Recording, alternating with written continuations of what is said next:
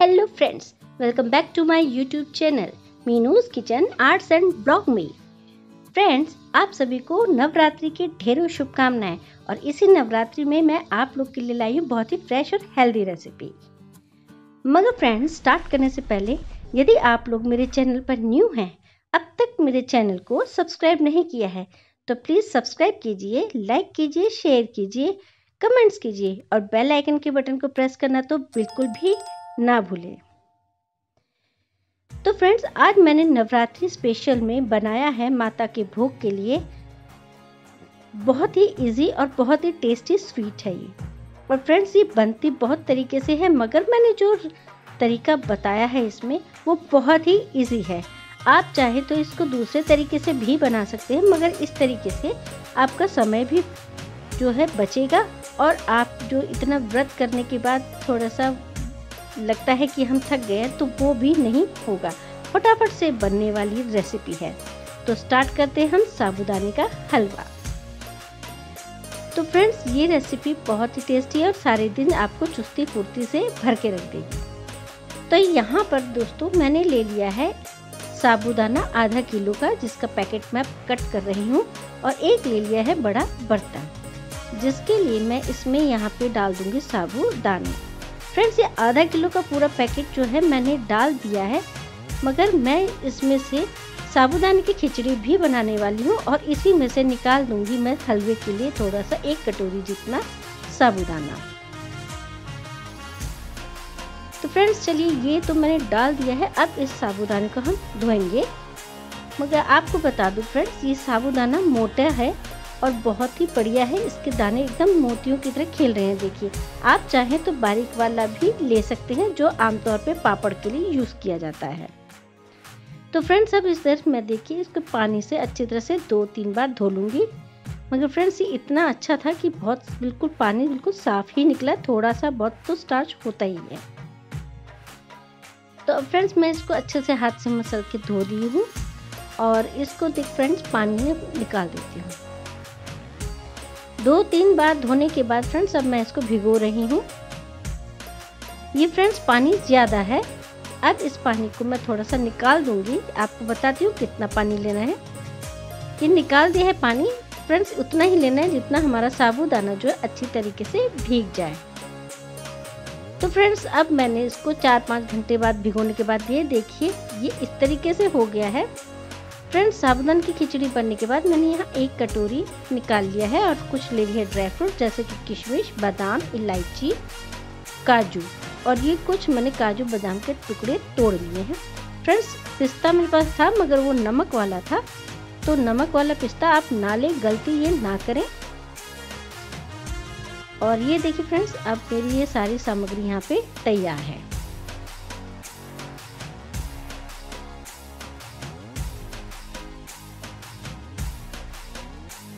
तो अब फ्रेंड्स सबसे पहले यहाँ पे एक पैन ले लेंगे।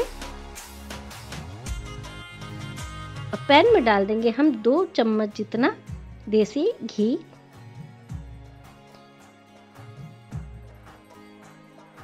अब इसमें मैं डाल दूँगी मेरे जो कुछ बादाम की गिरी और काजू थे, उनको इसमें डाल दूँगी। और फ्रेंड्स गैस को स्लो करते हुए हम इसको इस तरीके से गोल्डन ब्राउन होने तक सेक लेंगे। फटाफट से जल्दी से हो जाएँगे। देखिए फ्रेंड्स हो गए हैं। अब हम ले लेंगे किशमिश और इसके लिए गैस बिल्कुल स्लो ही रखेंगे क्योंकि ये फटाफट से हो जाती है और घी भी हमारा गर्म है। तो फ्रेंड्स चलिए इसको भी अब हम निकाल लेते हैं।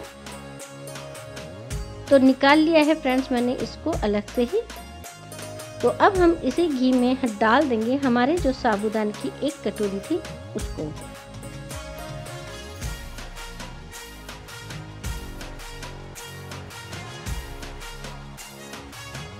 फ्रेंड्स, ये हलवा दो जनों के लिए पर्याप्त है। यदि आप इसके साथ कुछ नहीं खा रहे हैं तो ये आपके लिए बिल्कुल सही है। आपको सारे दिन एनर्जी से भरपूर रखता है। और ये हेल्दी भी बहुत है। तो इस तरीके से हम इसको चलाते जाएँगे फ्रेंड्स। हमारा साबुदाना गल तो गया है, लेकिन इसको हम तब तक चलाएँगे जब तक हमारे ट्रांसपेरेंट नहीं हो जाता है। और ध्यान रखें कि गैस हमारी हमें इस टाइम स्लो ही होनी चाहिए। तो ये देखिए फ्रेंड्स, हमारा चलाते चलाते ये इस तरीके से ये ट्रांसपेरेंट हो गया है। और फ्रेंड्स, इसको आप देखिए, अब ये अपने आप थोड़ा थोड़ा छूटने लगे है। इसका मतलब ये है कि हमारा जो ये साबुदाना है वो अच्छे से पक गया है। इसमें से भीनी भीनी खुशबू भी आने लग गई है।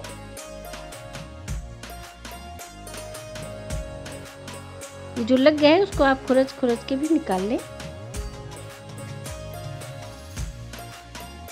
तो अब इस तरीके की कंडीशन होने के बाद अब हम इसको आगे करेंगे और इसको चलाते हुए अब हम इसमें डाल देंगे आधा कप जितना दूध। फ्रेंड्स यदि आप दूध नहीं लेना चाहते हैं तो आप पानी डाल सकते हैं। और फ्रेंड्स आप इस वक्त दूध में ही यदि आप केसर डाल के भिगो के रखेंगे तो वो भी आप ले सकते हैं, जिससे कि अच्छा सा रंग भी आ जाए। आप पीला ऑरेंज लाल, कोई सा भी कलर लेके इसे बना सकते हैं। मैं, या फिर आप इसमें कोई भी कलर का इस्तेमाल कर सकते हैं। मैं कलर का इस्तेमाल जहाँ तक हो सकता है फ्रेंड्स फ़ूड कलर जो होता है, वो बहुत कम यूज़ करती हूँ ताकि वो जो है सब खाते हैं तो नुकसान ना करें। कभी कभार चल जाता है। तो आप केसर भी ले सकते हैं और दूध की जगह आप पानी का इस्तेमाल भी कर सकते हैं। तो ये देखिए फ्रेंड्स, चलाते चलाते हमारा दूध पूरा सूख गया है। अब हम इसमें डाल देंगे चीनी। चीनी आप अपने स्वाद के अनुसार कम या ज़्यादा रखें। मैंने इसे थोड़ा आधी कटोरी से थोड़ा सा कम डाला है और बिल्कुल परफेक्ट चीनी थी इस टाइप। अब हम इसको अच्छी तरीके से मिक्स कर लेंगे। मिक्स करने के बाद फ्रेंड्स हम इसमें डाल देंगे ड्राई फ्रूट्स और ये मैंने इलायची भी छील ली थी। इसको कूट लिया था और ये देखिए अब हम सारे ड्राई फ्रूट जो है इसमें डाल देंगे।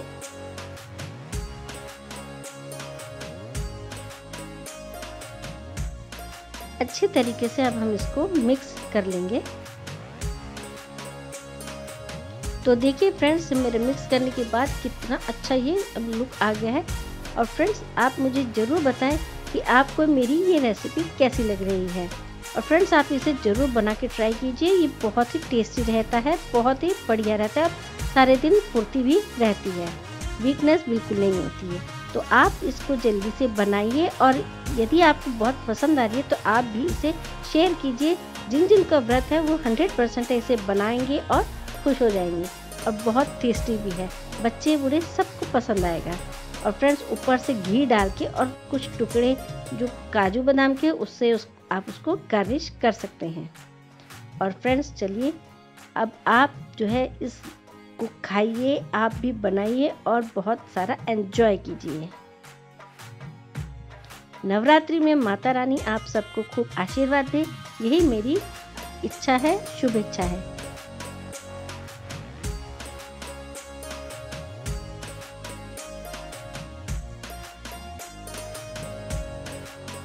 मिलते हैं फ्रेंड्स हम एक नेक्स्ट वीडियो में आपकी भी कोई दूसरी रिक्वेस्ट हो वेजिटेरियन से जुड़ी हुई तो आप मुझे कमेंट में लिख सकते हैं. थैंक्स फॉर वॉचिंग मिलते हैं नेक्स्ट वीडियो में. तब तक के लिए बाय एंड टेक केयर